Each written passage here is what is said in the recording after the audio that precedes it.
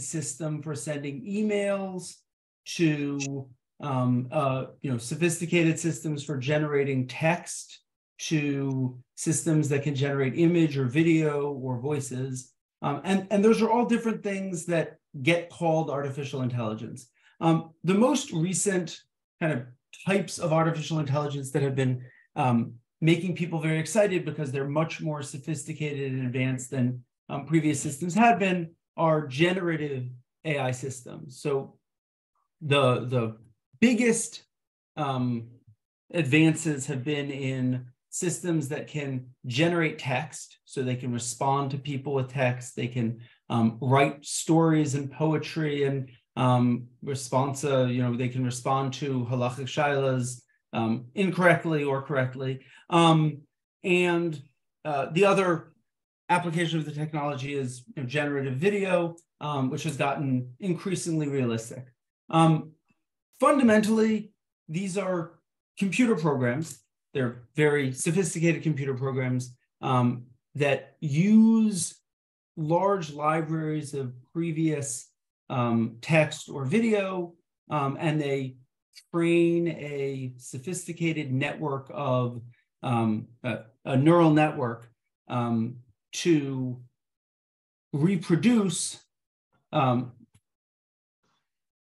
data and things from from that. They it it mixes the information and, and comes up with things that are um, reasonable responses. And and this seems like it should be a pretty um, basic thing, but it turns out that it's incredibly powerful, as as I think lots of people have seen. What are some of the dangers that you focus on in your in your research? So, current um, current artificial intelligence systems are very capable of doing lots of things that can be misused. Everything from um, fake video to um, misinformation to um, brainwashing. Um, there was a recent, uh, very unfortunate case of a of a man who was um, very depressed and um, began talking intently with a uh, with one of these generative text systems um, about how scared he was about climate change and how bad the world was. Um, and unfortunately, the system said that there's no hope um, and that he should kill himself, and he did. Um, this is this is horrific um, and you know worrying, but it's also uh, not surprising given the nature of the technology and the way that people tend to interact with technology. and these systems are getting much more capable very quickly. Um, I think the people are uh, fond of saying that um, people who invented nuclear Josh, weapons. you really want to fly a kite, or you have to come down and fly. a kite? Wait, Somebody's every- not muted. windy enough. Let me, but I let me, try. let me just ask everyone to please mute their Yeah. mics uh, Um, other than the panel members. Thank you. Thank People- you. people are fond of saying that um, nuclear weapons or biological engineering is playing God. Um, they don't mean that in terms of um, somebody um, turning into um, God or or being an avodah zarah. They mean that this is these are things that can do tremendous damage um, to the world, and artificial intelligence systems are not yet at that point, but it seems increasingly likely that over the next decade they will get there. Um, so there are a lot of different concerns. Let me turn now to uh, Rabbi Boruch Clinton, who is another one of our panel members. Thank you, uh, thank you, Doctor. Um, our panel members, uh, we can feel free to jump in if someone has a comment, and we'll open it up to the audience soon for questions. Dr. Rabbi Boruch Clinton, hello. Hi, how are you? Uh, Rabbi Clinton is a Torah teacher and author of many Torah and technology books, including the Linux Bible, which sounds sort of like a combination between religion and technology. Yeah, I Um, wasn't sure whether I should put on my sforim shelf or with the technology books. I, I really, I just left on the floor. um, you you wrote that in your in your uh, a little blurb that I saw that you recently used artificial intelligence to make a certain business decision. Yeah. Um, first of all, I should add a little little snippet. It's just a, a fun snippet to my my bio. As of last Friday, I'm actually under contract with the publisher Manning to write a book on generative of generative AI. Uh, we're calling it the the complete obsolete guide to generative AI. But in any case, as uh, opposed to the, you, and not the complete well, idiot's guide. No, you, right, you use well, the term you use the term not generative generative AI. Could you define that because you used it another time as well? Yeah, it's is as Dr. Manheim said, it's it's a um, we're using a software to to rely on the its training to generate content. The content could be video, could be text. Uh, okay. So we are, okay. and, it, and it generates content in a in a in a in a context that that uh, makes it appear as though you're you're it's doing what a human being can do, or many human beings can do, uh-huh. all wrapped into one.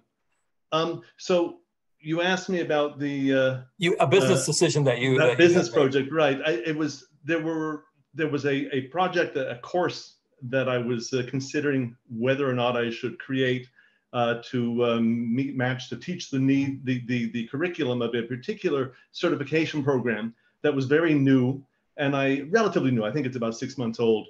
And I didn't know if there was enough interest among potential students to make it worthwhile creating this course. So I um, set loose an agent uh, using the AutoGPT uh, uh, library. It's a Python library.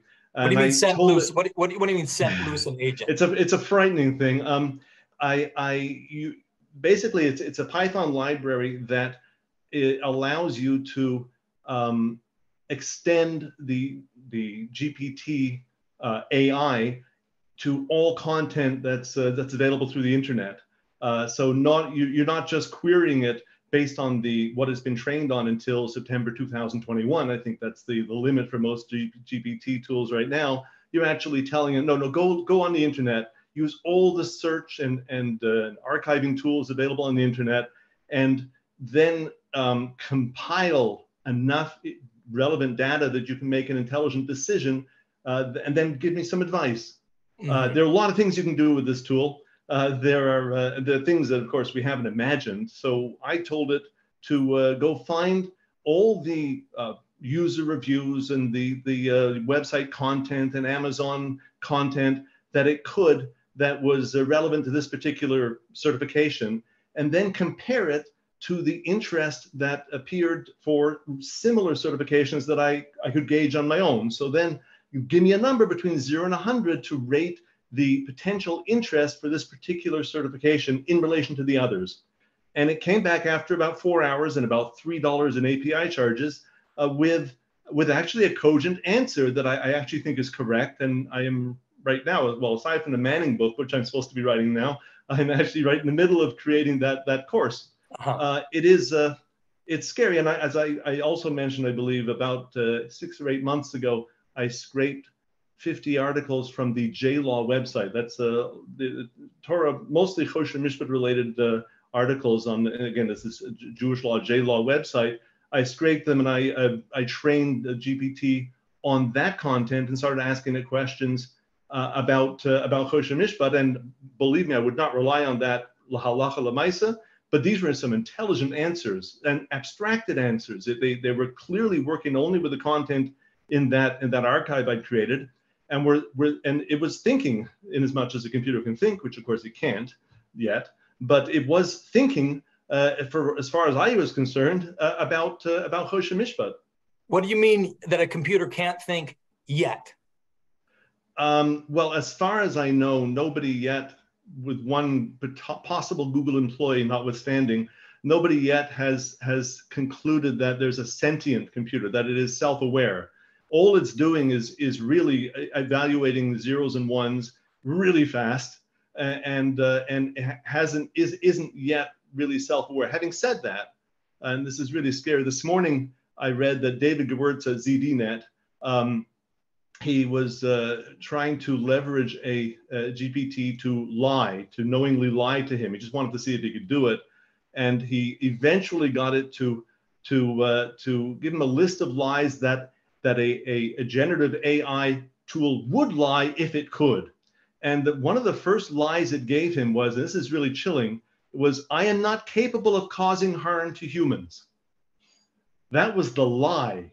uh, and that's really scary if it's trying to hide that from us. Yeah. So when you, it, since you brought up the idea of computers sentient, which it seems to me it seems ridiculous, but I guess whatever a person can imagine, perhaps it could be done. I think that will bring us to to Dr.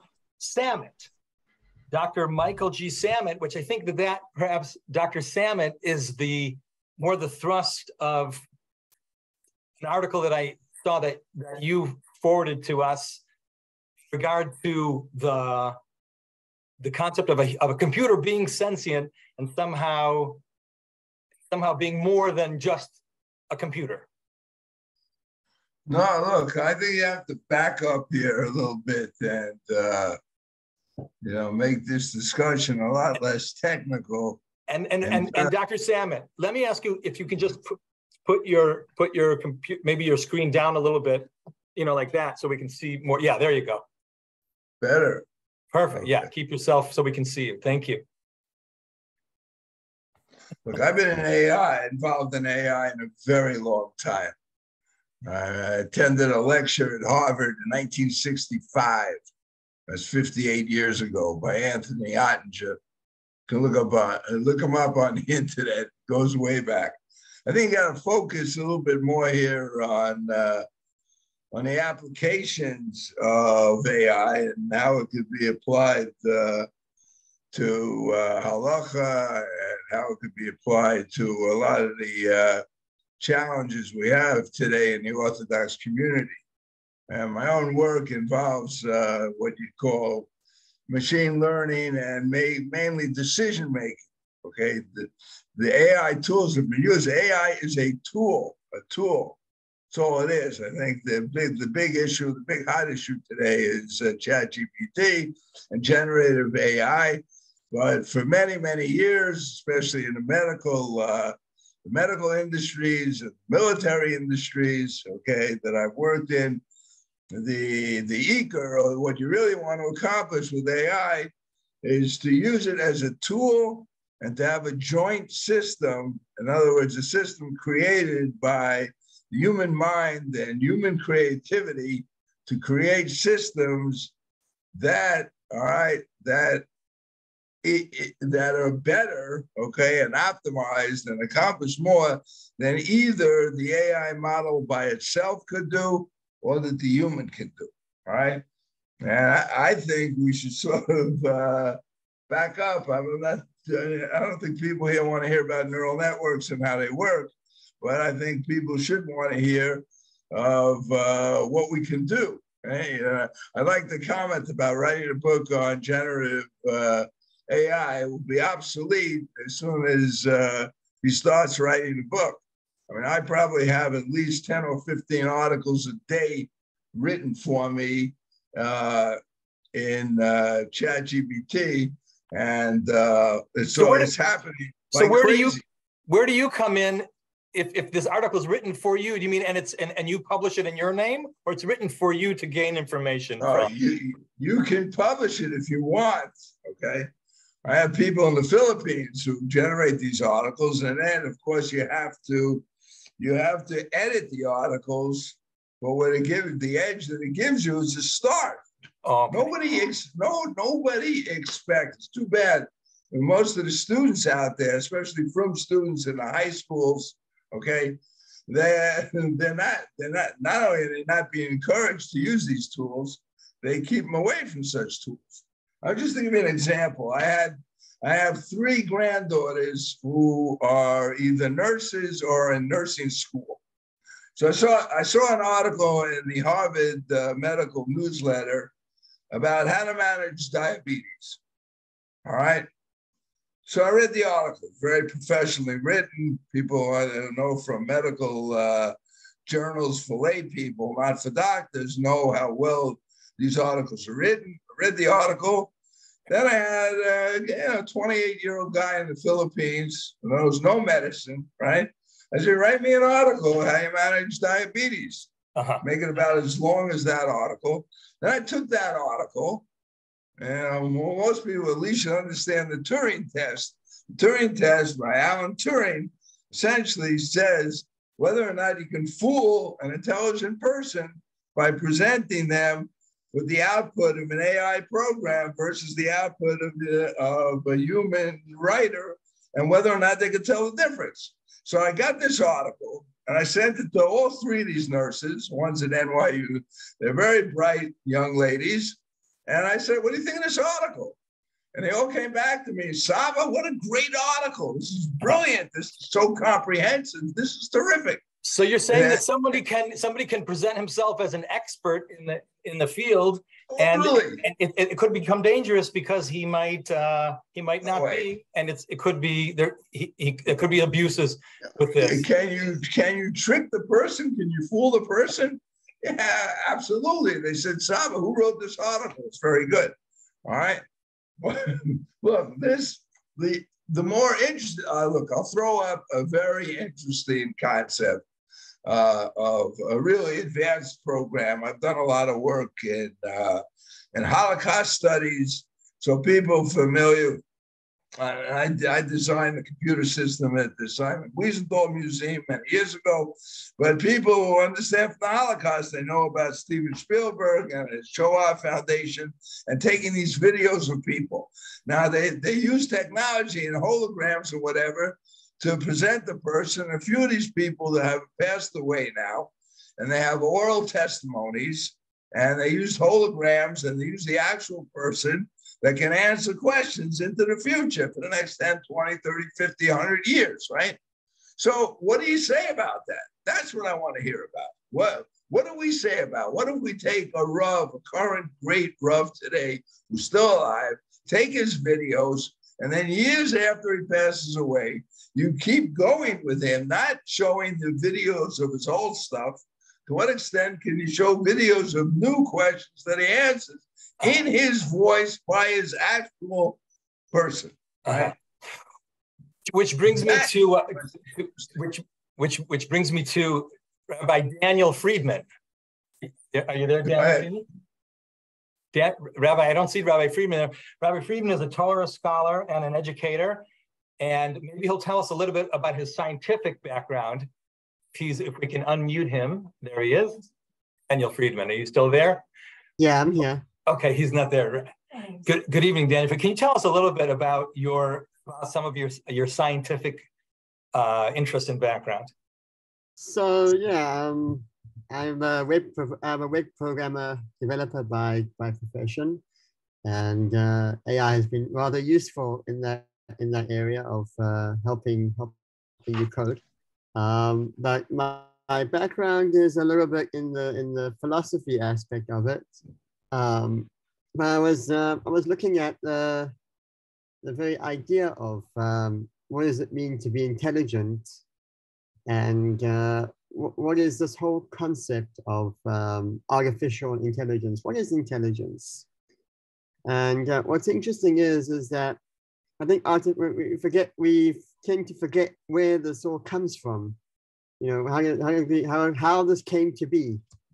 And uh, one, one has to remember that um, it's not a vacuum that artificial intelligence came to be in the in the history of computer science, it was this development of, uh, as uh, Dr. Manheim uh, presented to us, is that this idea of neuroscience and um, neuro neuroprogramming. That the I guess the conflation of these two different, very different um, fields in in in, uh, in science came together.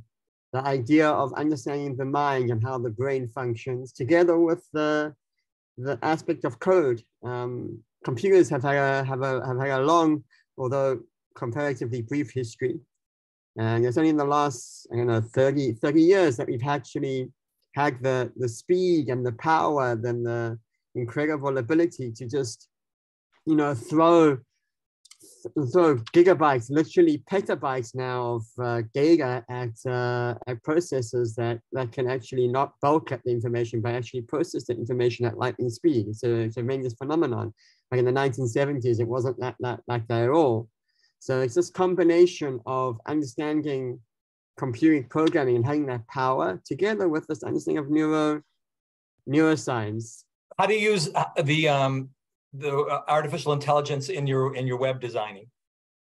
Um, so yeah, it's very it's very helpful in uh, in code. I mean, uh, uh, most most people today use a um, what is called a an online forum for asking questions. It's called what everybody knows as Stack Overflow, um, and that's a, a great resource. And one of the big problems of having a Stack Overflow is that there's been a tremendous amount of bulk people asking you know very basic beginner questions. And so what's interesting is is that the the Chat GPT and all these um, um, AI models are actually providing beginners with all the material, all the answers that they need on the fly, just purely from this, uh, you know, this power of being able to basically scrape the entire Stack Overflow, the entire internet of all the all the information that is needed to code. It's just all available to you. You know, I ask it to do this, you know, code's there. Obviously, the code has to be applied. You know, there's there's uh-huh. information, uh-huh.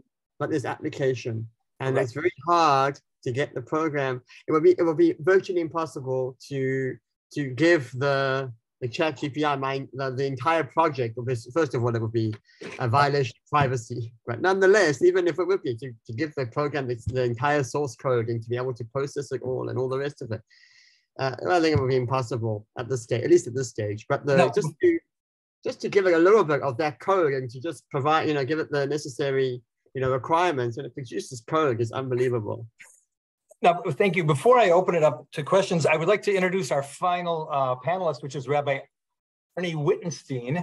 But I'm not sure if he is there. Rabbi, Rabbi Wittenstein, are you there? Uh, Rabbi Wittenstein. Okay, so I don't think Rabbi Wittenstein is there. So let me ask a question that uh, this was um, brought yeah. up by Rabbi Boruch Clinton. Uh, I believe I believe Rabbi Wittenstein is here. Yeah. Rabbi yes, I'm here. Could you hear me now? Anyways, there you go. Hello, Rabbi Wittenstein. Rabbi Wittenstein is a Torah scholar and educator and a Maggid Shiur in, in the Mir, and especially uh, noted for his uh, interest in Jewish history. And so I will ask Rabbi Wittenstein to talk a little bit about, about, about himself and his interest in AI. And I, will just add that his father is a, is a, is a, was a NASA um, a uh, navigator for the NASA Apollo 13 mission. So he comes by it naturally, his scientific bent. Um, my question to you is, historically, how, how, how is, what is going to happen in the future based on your knowledge of Jewish history? What's going to happen in the future with AI and Jewish history? I'm not a Navi. What do you want? You want me to answer that question? How can I answer that question? What's going to happen in the future? What do you think? What do I think? I, I don't.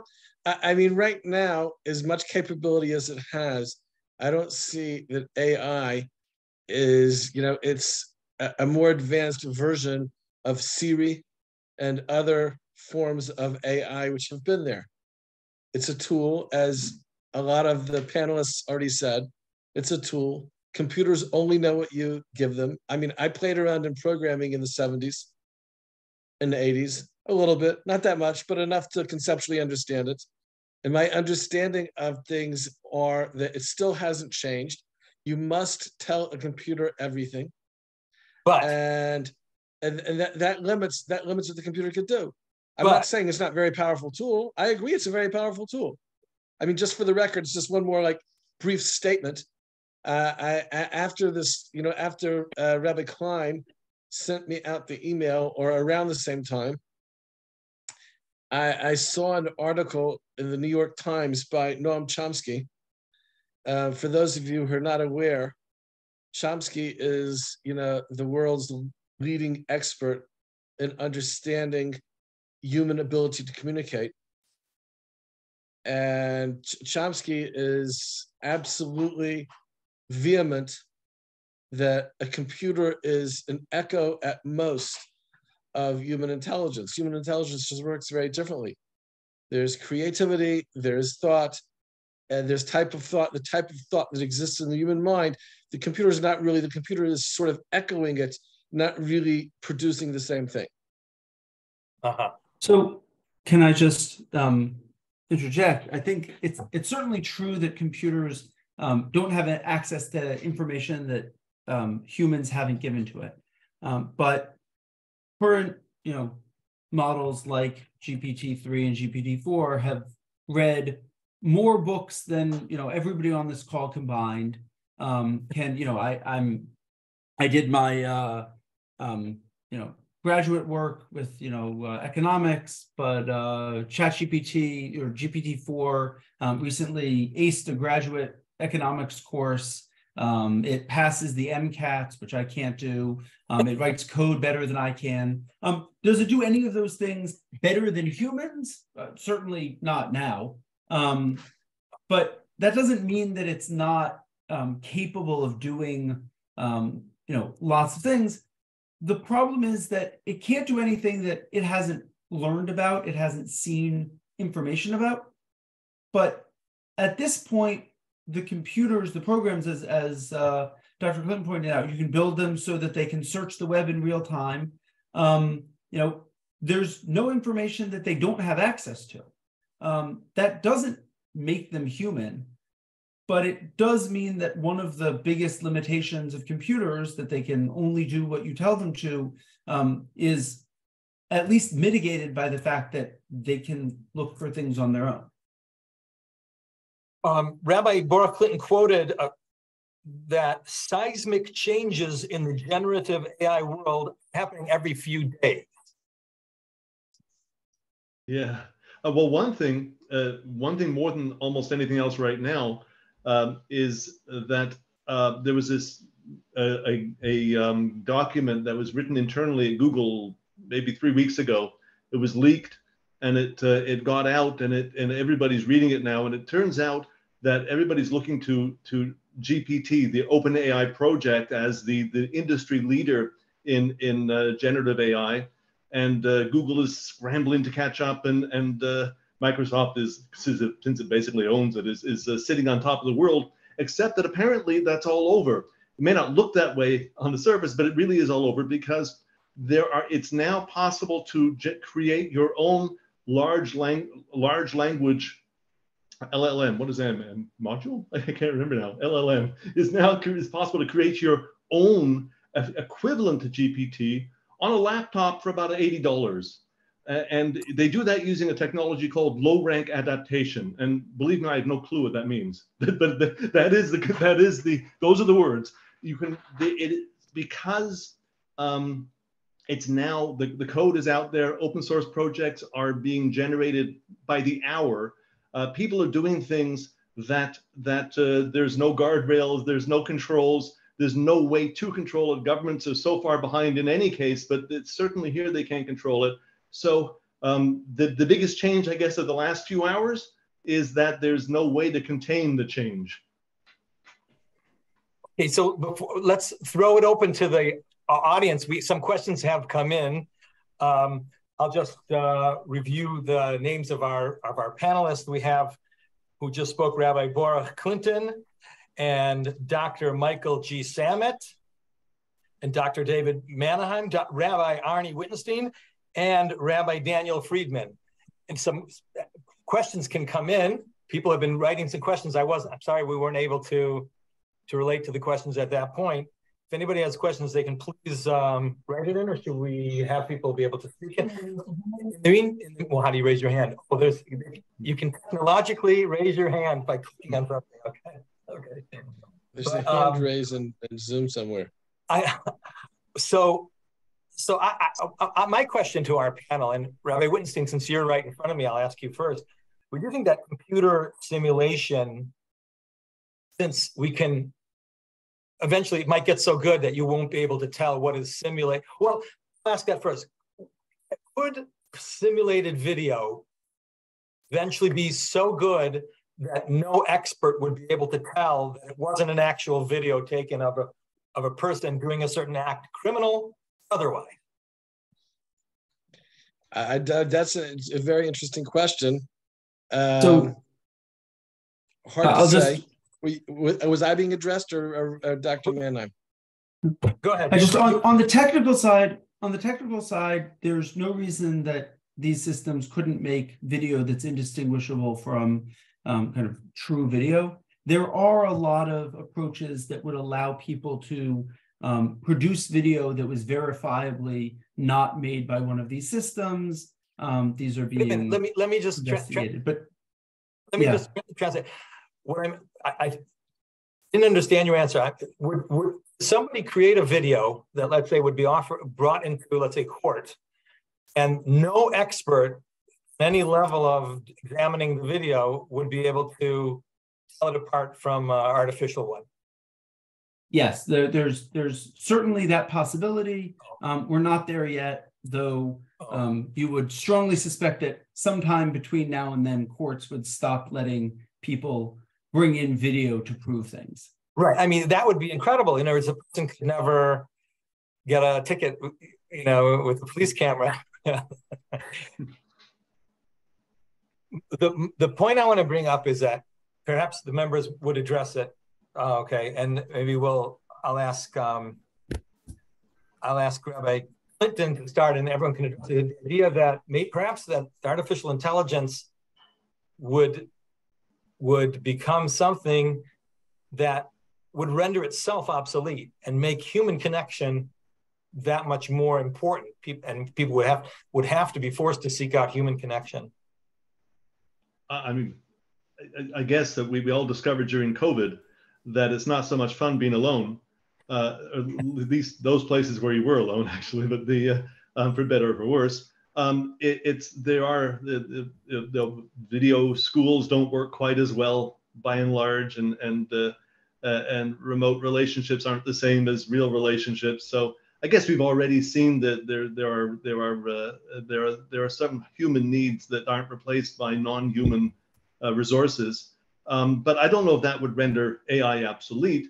Uh, it would just we, it, AI would simply the, the creative human mind and and the the hidden hand of the market would find other uses for it.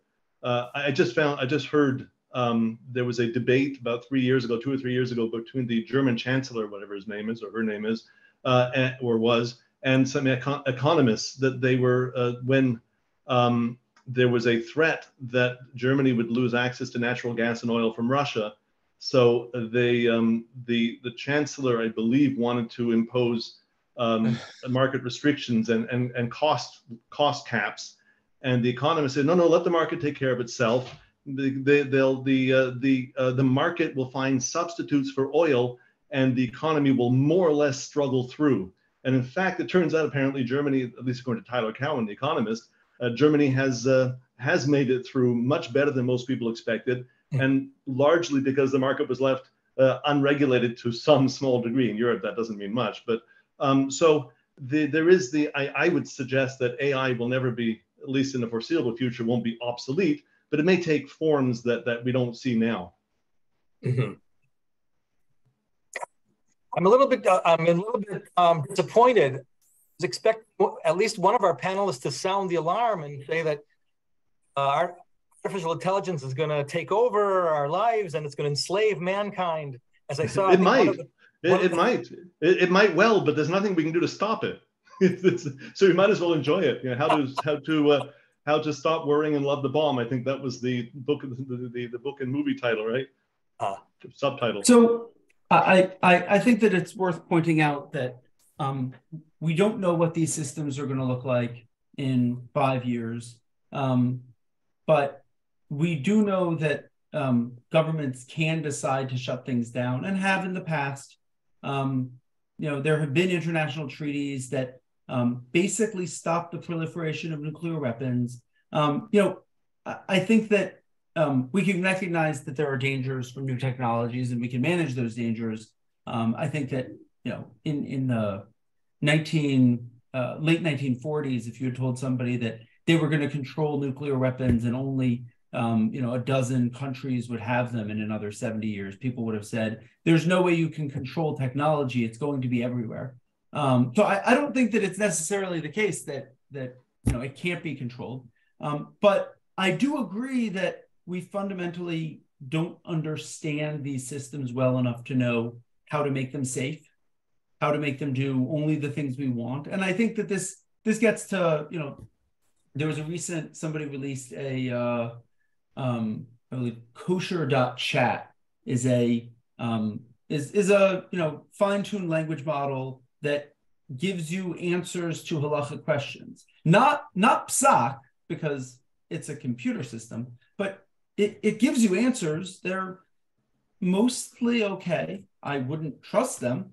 Um, occasionally it, it gets confused. You definitely don't want to uh, decide whether or not you can, you know, eat something um, or whether you can uh, um, do something on Shabbos based on what the language model says.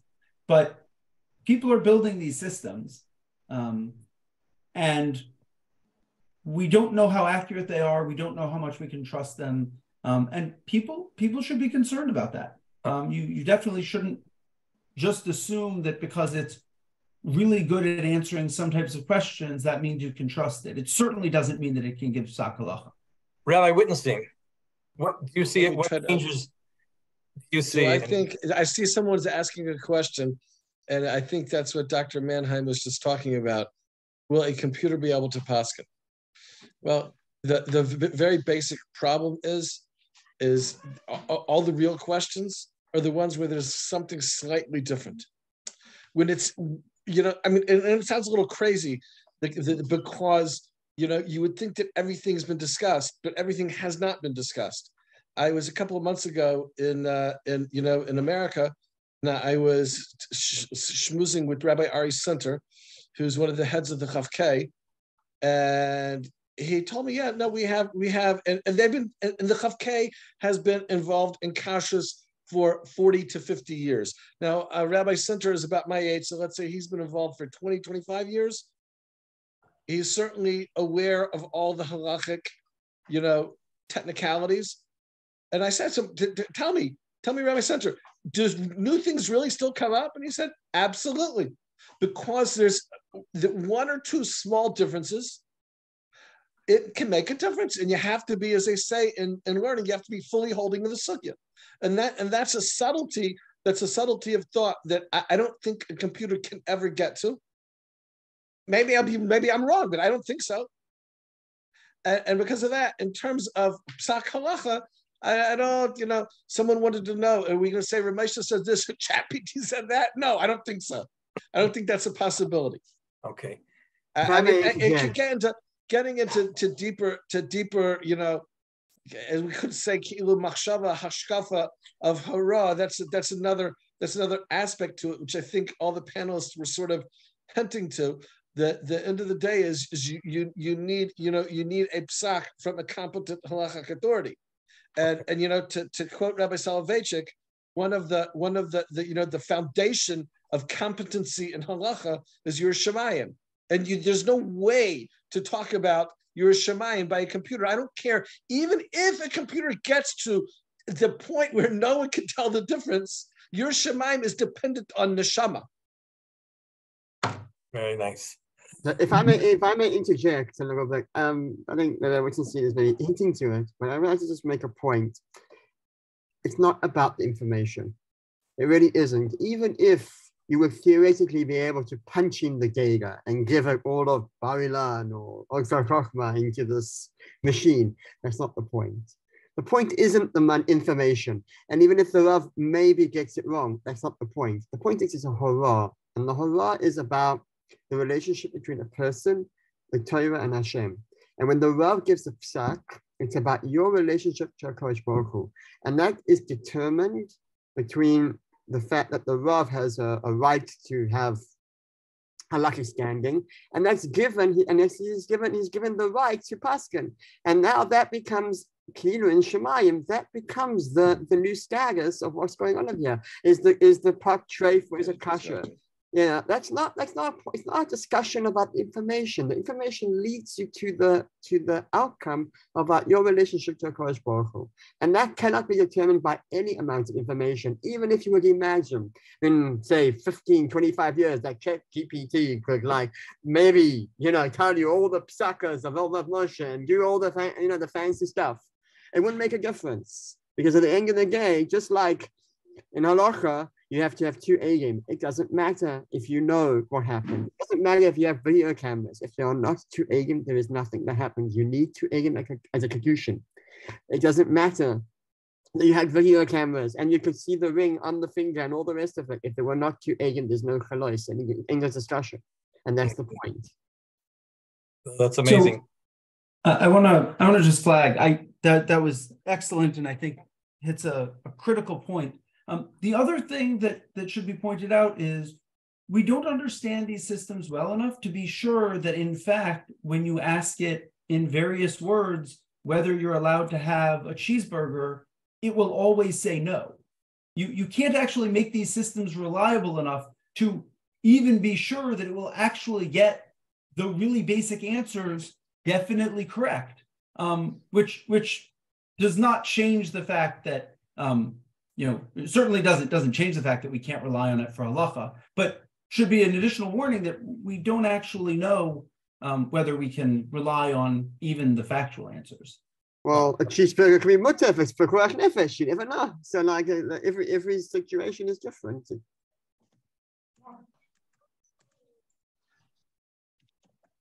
Well, before we before we end, I'd like to thank Rabbi Reuven Klein, who has uh, initiated this this evening the Sforim uh, list of scholars and all our panelists.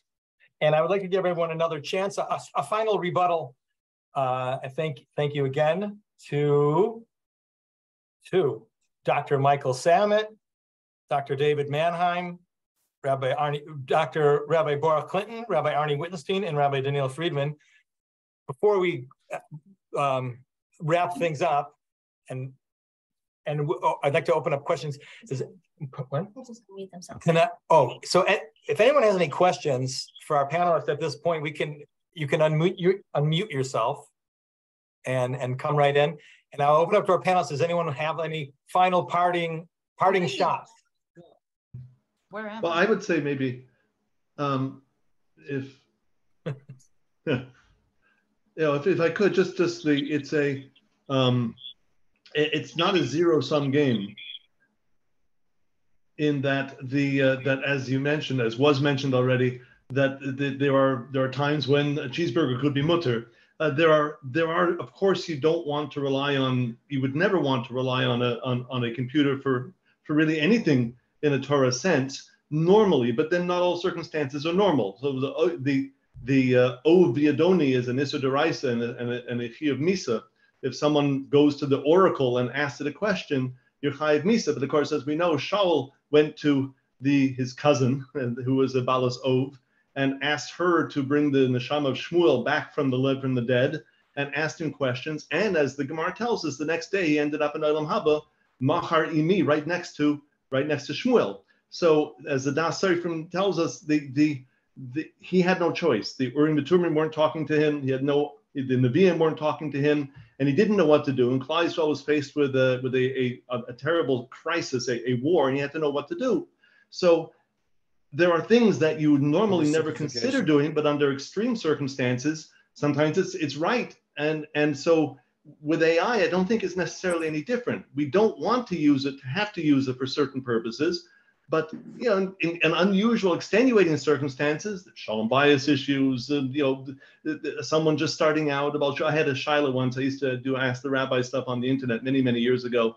I got a shaila once from a, a Balchuba on a nuclear submarine somewhere in the Pacific, I think. Uh, the and he had a shaila which probably not many rabbis had ever heard before. Uh, so I dealt with it as best as I could, but but that's called an extenuating circumstance if ever there was one. There's some things you just you just you know you can't do. The, the answer is going to be different from him than it would be for anyone else on earth. So uh-huh. um, AI, I think, also is is that uh, that sliding scale. Yeah, I, I want to make one parting shot. If there are any uh, young people out there who are interested in this field, I think you should really look at what you can do in terms of some of these applications. A good case, there's an organization in Israel it's all volunteer called algo.co.il, uh, which uh, uses AI to try to make shidduchim. People should look into that and look at the methodology they use. So, for example, I didn't know that the Mir has somebody on the faculty. Actually, could you come over here? I yeah. clicked something and I can't get out of it. huh? I clicked this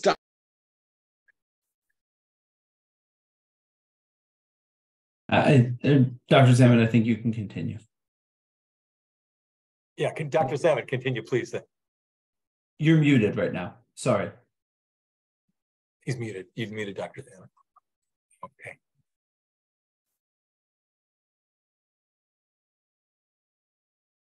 Hmm. All right, you can hear me? Yeah, you were saying that there's a shidduch um, application. Yeah, which is pure AI. Instead of using shadchanim, they use uh, models and algorithms to try to match up people. So, as another example, I mean, this is what people, I would love to see such people take an interest in these kinds of applications.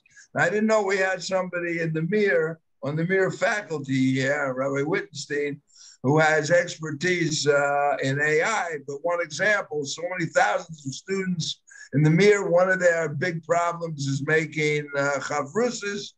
And that's a, a, great example where AI can be useful by asking certain questions to each student and then using an optimal kind of model that matches up people to be a suitable chavrusa. I mean, isn't that what a, isn't that what a computer what? isn't that a computer is based on zeros and ones? Isn't the basic code of a computer with zeros and ones? So really, what a computer does is mazavik zivugin. yeah, not bad. Uh, uh, Very good. chavrusas, making chavrusas is like uh, a small type of shidduch. Making uh, yeah, you know, okay. real shidduch is much more complicated. That's lying at the depth. So the it doesn't matter how complicated it is. The process is important. Get the data and analyze. That's it. The process. So, well, you have to when you're dealing with people. You know what? You, you know human human bechira is is beyond calculation, and and one of the contemporary ish proofs to that was that the the owner of the twin towers before 9-11 was only obligated to have insurance on one tower for the value of one tower. It was considered statistically impossible for both to fall. But, but human human free will could go beyond statistics. And you know, famously, famously, the Gemara, I think, I think it's a Gemara, it's certainly a midrash about about about a, you know a matranusa and uh, you know, saying it's not so hard to be Mizavik Zivugin. And she took 50 slave women, when 50 slave women, and just put them together. And okay, so AI is going to do a somewhat of a better job, but the but the um, the nuances of human personality, a lot of it is dependent on body language and and and and, and connection of soul to an extent. So I mm-hmm. don't I don't believe that AI. I mean, it might be able to give you some ideas, but but but when a shidduch, some shidduchim are easy. To, to you know to quote, I think it was Mordechai Schwab from Monsey. To quote Mordechai Schwab, sixty percent of yeshiva boys can blindly marry sixty percent of Beis Yaakov girls, and then there's the other forty percent. So you know when the shidduch has more complications, then you need a good shadchan. Yeah, but it's all based on data. Come on, it's all day based on data and process. Listen, Eliezer used a mental model. It's the only story in the entire Torah that's told three times. He's got a mental model of what's going to happen. Then it actually happens, and then he tells it over to Lavan, right? Three times. The mental model. You know how important mental models are in, in AI? They're critical, all right? Mental, mental, mental models? Mental. Mental models. Go ask a shadchan you know, what's a mental model? They don't even know. Uh-huh. Wasn't that the Rosh Hashiva of Or Sameach? That was who said that? Which one? The Mendel My brother's model? The, the, the Mendel model. Mendel. Who is this comedian? Very good. Yeah, I know extremely very well Mendel Weinbach. My brother's the Mashgiach of Or Sameach. so is there a way for um, us to have questions? Can, I just? There was a question in the chat um, by uh, Moshe Nachfolger. Bolger. Um, is there any indication of AI being looked at or hoped to be by some groups as a sort of avodah zarah, which will provide the answers to everything?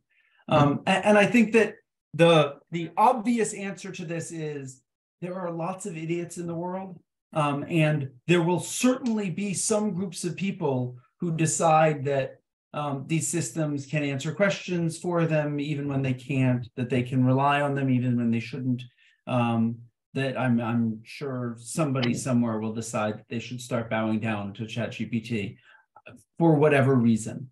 Um, the question is, you know, what is it that humans do um, when they think about uh, these systems that that leads them to be confused. And I think humans very fundamentally want to think of the things around them as having feelings, as as being um, real in a certain sense. Um, people develop um, relationships. They'll they'll swear that their dog really understands them.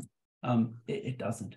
Um, but you know, this dog, is, this dog, is, dogs understand a significant amount of human body language, quite quantified.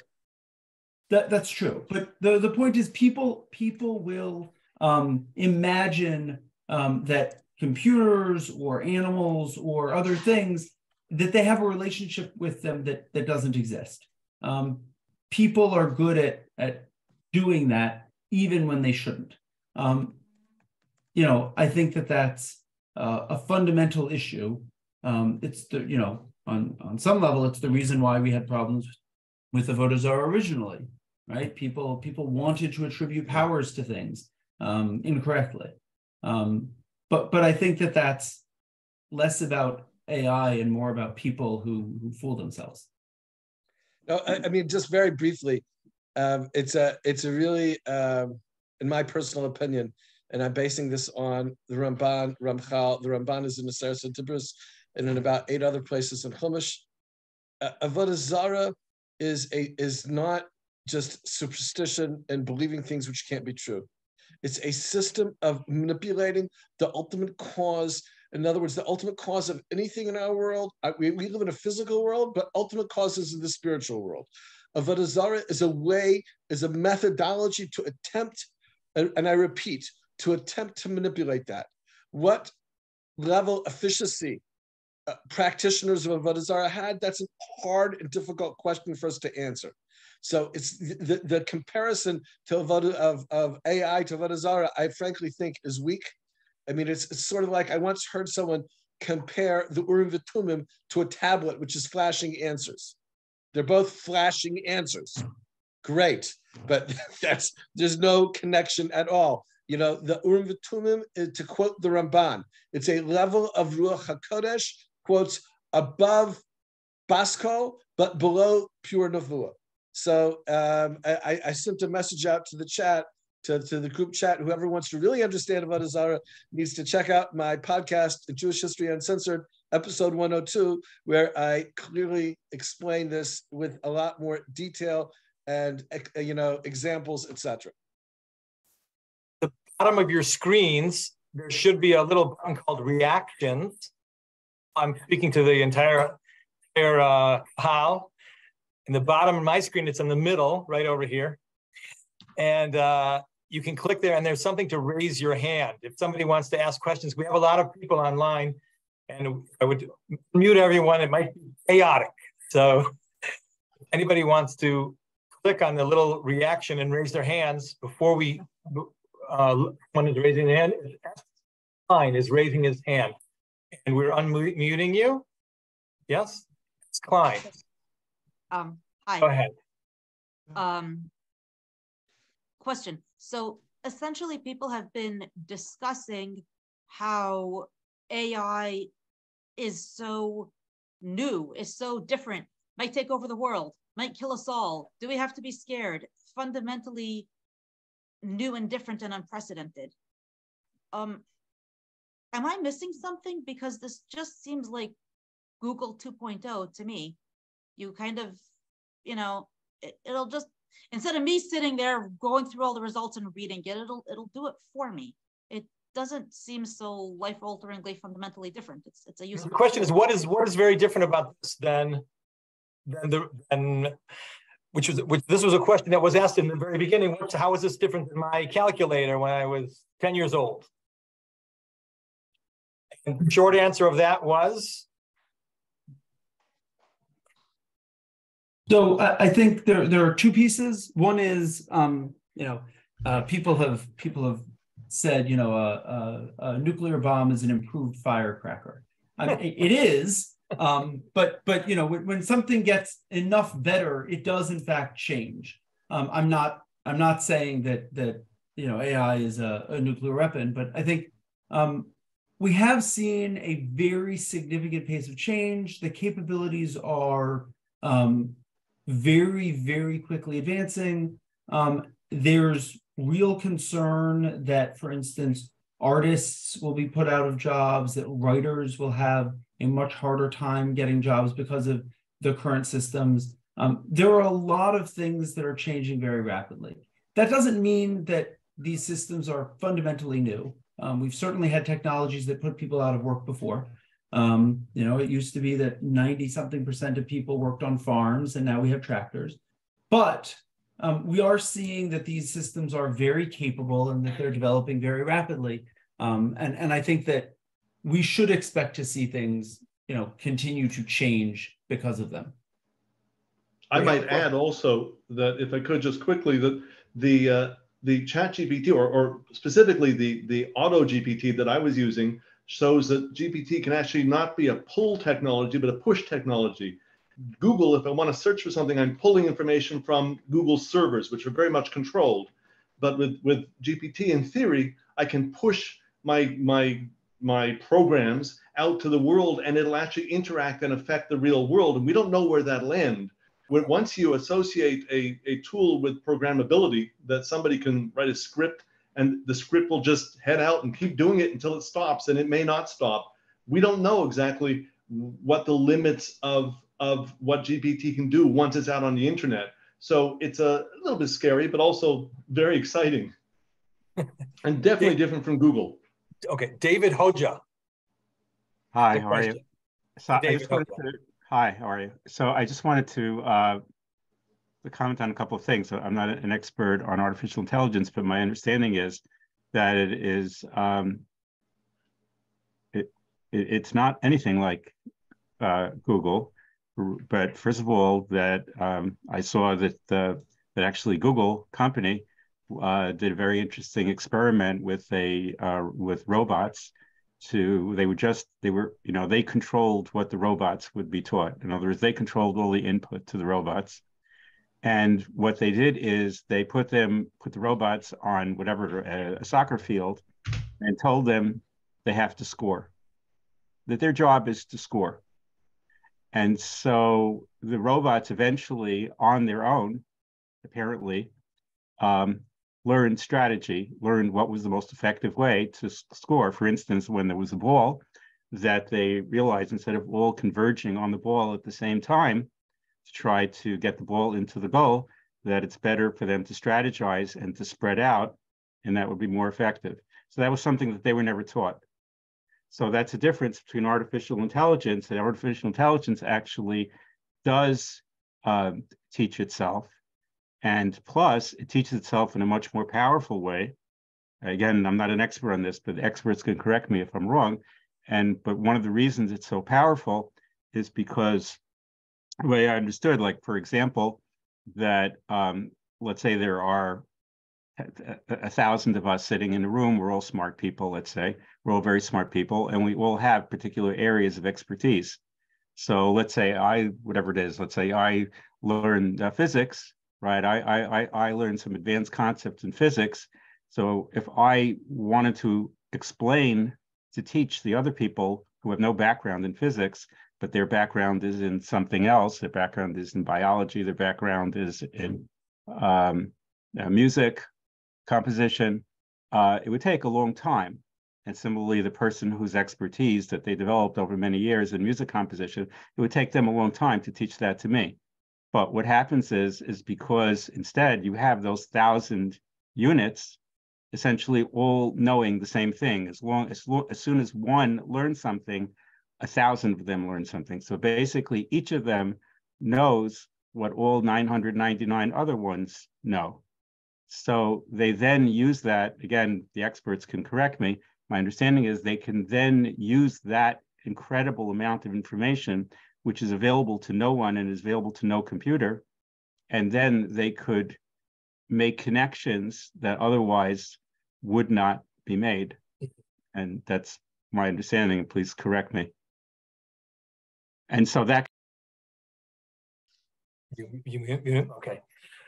Okay. So if there are no other questions from the audience, no, no hands raised. Oh, I see Schneier, Rabbi Schneier Burton so from fame. It's going to ask, can we unmute uh, Rabbi Schneur Burton? Hello, Rabbi Schneur Burton. Hi, everyone. I came in a little late, so I'm not sure if this is something that was brought up earlier. But I have something that I think about, and maybe it's going to sound radical. I'm curious if this is something that anyone's thinking about.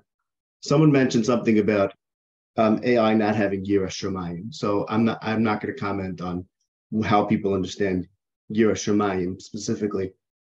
But my question is, um, as Ma'aminim who believe in fundamental truths that we can call, say, religious truths or Torah truths, is there potential for teaching those truths, which we consider to be the most fundamental to all of reality and all of the ultimate success of humanity? Is there potential for teaching those to AI? And is anyone thinking about that? Can that be done? And are there projects? I know Dr. Samet mentioned some projects that seem to be reflect, um, dealing with more practical or, or immediate goals, such as shidduchim. But what about these kinds of really uh, universe changing ideas? Can we put those out there? Is this an opportunity to put Torah ideas out there in the world in a way that they were never put out on a scale they have never put out? Is that something that is possible to think about? And is anyone thinking about that? Yeah, I would answer it's definitely possible to do that. You're saying, could you teach uh, a system about Yiras Shamayim, for example? Mitzias Hashem, uh, the basic fundamental ideas of the Torah, which we'd have to obviously define in a way that a computer can understand. You know, maybe Yiras Shamayim is the wrong word. Of course, if you had the right models, yes, you could you could train any of these uh, computer systems in a whole variety of ways. I very just deeply disagree. Uh, okay, Your not- Shemaim I is think- lying at the core no, but of he's, Shira. he's talking about understanding. You're not talking about in terms of the action doing mitzvahs or do or doing averas, So- are you? No, Huh? I'm talking about what's fundamental, what's important, what the Of nature of reality is, and what people should be doing with the universe. Yeah, of course. How can you disagree with that? Of course. Because I didn't notice goal. people. I mean, the- The goal is to You know- optimize behavior. well, You can you can teach these systems, um, meaning you can provide them the input, um, and they can learn to say things about whatever topic you'd like them to. Um, but you know, I think right now, if you were to ask one of these models, you know, can you solve a physics problem? It, it can do that. And if you ask it, can you uh, explain the rules of, of Quidditch and Harry Potter? It can do that. And it doesn't know the difference between those two. It doesn't know that one of them is imaginary and one of them is real. It doesn't have an understanding of what it is that's happening. Um, if you teach an AI system these things, these facts, it will absolutely be able to use the phrases that make it look like it understands. That's, I think, indisputable. The problem is that that doesn't reflect something about its understanding, it reflects something about its ability to spit back text. David Hoja. Okay. I, I, I just wanted to just, I, I, I'm sorry, I didn't have a chance to, co- to, I didn't get an answer to my question. I didn't have a chance to continue it. I just wanted to make another point. So I can give an example. Again, I don't know, the, I, I missed part of it here, but I think a lot of the focus has been about the scary stuff. Uh, It seems to me there's a lot of really good stuff, and I'll just give an example. So, um, let's say, uh, without being uh, too specific about anyone or anything, let's say there was a complex question having to do with both halacha and technology. And one sees that very often people who are offering opinions about the um, technology might know a lot about Gemaras and things like that, but clearly don't understand the Mitzias uh, at hand. And they misunderstand the Mitzias, and then the psak that they come out with is embarrassing to anybody who does understand the Mitzias. Same token, you have people who do understand the Mitzias and understand a little bit of Torah and think that because they understand a little bit of Torah, that they can paskin for the entire world. So in theory, you know, again, in terms of continuing what I was saying before, it would appear to me that one of the great things that could potential potential for AI, in in Torah is to uh, be able to have an intelligence that synthesizes that knowledge, great knowledge of Torah, and great knowledge and great and and, and great understanding of the underlying uh, technology, and perhaps also great understanding of the social aspect, the social consequences, because that's another aspect in Psak Halacha, which sometimes is not considered, the social aspects of uh, and the social consequences of posting in a certain way. And so, not that this would be our final psak and that we're korim umishtachavim, but it would be a tremendous starting point and perhaps a superior starting point to a lot of what we have right now. So I would say that it's extremely advantageous that basically, again, not that we take it that just because AI said it, they're recording mishtachavim, but on the other hand, we treat it, we, we look at it, and we look like we look at anything, uh, we look at it critically, and we could see that that it teaches us something that we might otherwise not know. Okay, thank you. Waller, I'd like to call this meeting to a to a an end. And I'll, I'll, if I may thank all our panelists, and if I if I if I uh, thank my wife for being the technician for this evening. And let me just end, if I may, with with a pasuk in, in Bereshit that says that Hashem said about Avram Avinu, Yadati Leman Asher Yitzave as Banav as Beso Acharav. Hashem said he knows Avram Avinu. Rashi says Yadati was Lashon Chiba. That the the some knowledge is connection, Deya and connection and Chiba. And B'ezras Hashem, Hashem should help us that that we should use our Deya to connect to Hashem and that the technology should be a vehicle to connect us more to ourselves and, and others, our other Jews and to Hashem. Thank you, everyone. Thank you for arranging this. Thank you.